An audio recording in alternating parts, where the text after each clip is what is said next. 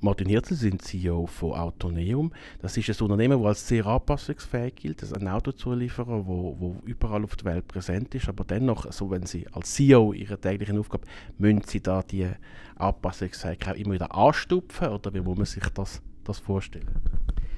Die Automobilzulieferindustrie ist tatsächlich bekannt als eine der wettbewerbsintensivsten Geschäfte, als eine der härtesten Business, oft genannt.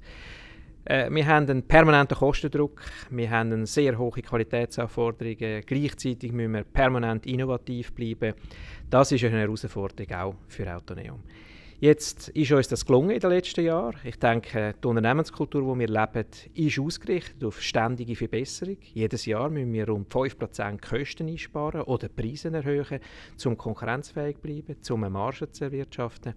Und es wäre nicht gut, wenn der CEO da selber täglich müsste Impuls geben müsste. Das ist Teil von DNA bei Autoneum. Es gibt eine Reihe von Megatrends beim Autofahren. Das, ich sage Ihnen jetzt vier Begriffe: E-Mobilität, Konnektivität, autonomes Fahren und Shared Mobility. In welcher Reihenfolge werden die unseren Alltag erreichen?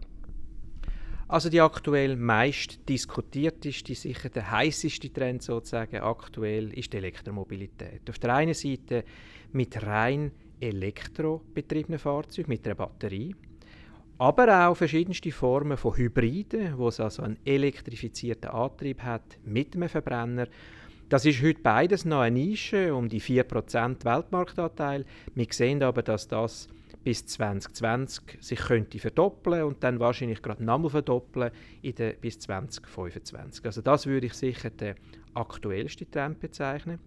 Parallel dazu sehen wir sehr innovative Konzepte für Shared Mobility, also ein Auto on demand, nicht mehr selber kaufen, sondern mit einer App äh, reservieren, abstellen, wenn man es nicht mehr braucht.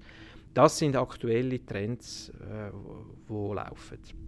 Dann verstehe ich es richtig, dass das selbstfahrende Auto, viel diskutiert wird, halt doch noch ein bisschen auf sich warten lassen wird. Technologie hat riesige Fortschritte und äh, Sprünge gemacht im Bereich selbstfahrende Autos, ganz bestimmt.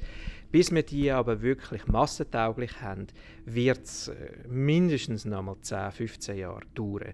Also das ist dann eher Trend längerfristig. Und wenn man dann das noch kombiniert mit Shared Mobility, dann haben wir Robotaxis, Robocars, die in den Straßen herumfahren. Das ist doch noch ein visionär. Martin Hirzel, vielen Dank für die Einblick.